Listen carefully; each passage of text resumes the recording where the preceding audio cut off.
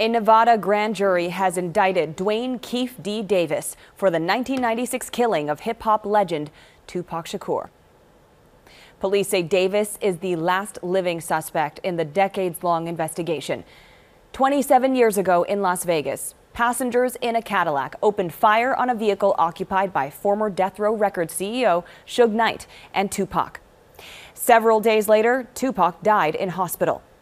In a 2018 memoir, Davis revealed that he was in the Cadillac at the time of the drive-by shooting.